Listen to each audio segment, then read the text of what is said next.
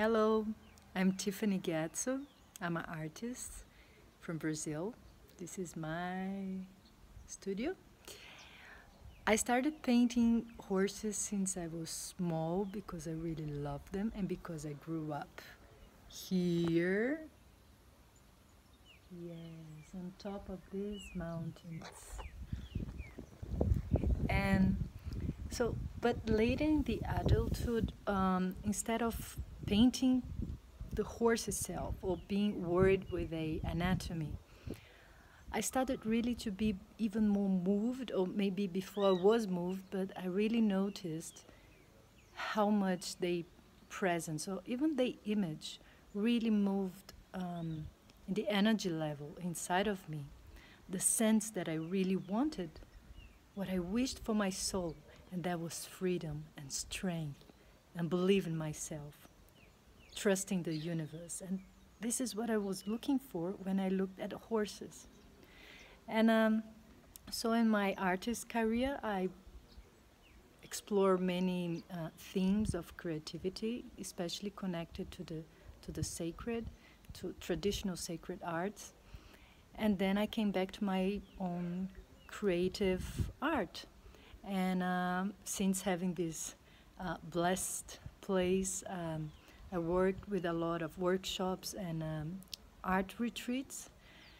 I believe art retreats can um, give a more intense and deep in the art experience for transformation. So that's my focus uh, for the last 12 years. And uh, only for the last two and a half years, I included horses in these workshops for creative painting. And um, my idea was um, not literally um, having to learn how to draw horses, not focus on their anatomy. Uh, they may appear in your painting, but mainly what um, I invite them for to be in these workshops is because they uh, know how to touch and know how to invite us to be close to our wild heart, that heart present in you before you even really knew who you are, before all the stories came up, before the before the hurt, before the suffering, before the duties. That heart, that essence, that under that uh, lies underneath anything you do. And sometimes we just don't hear it anymore.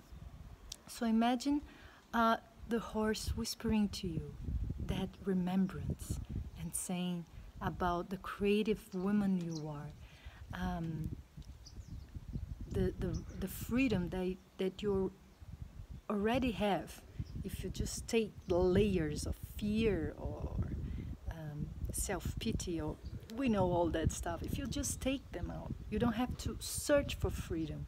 You just take these layers out, and what stays left is freedom.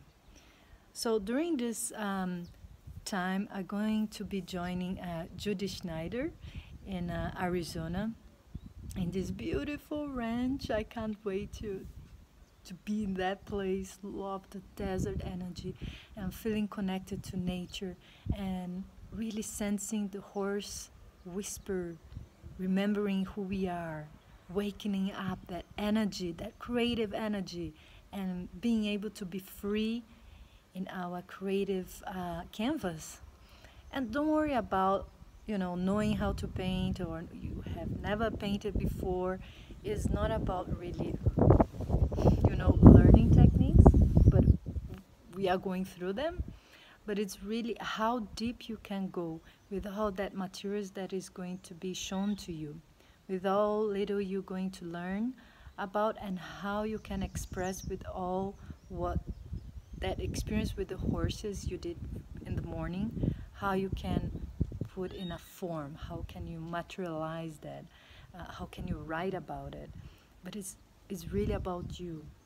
But the, the real awakened wild heart. This is what we are interested to invite for our retreat. So be welcome in any stage of your life you are just let um, do the jump, run. It's it's easy. Yeah, I'll wait for you there and um, feel inspired.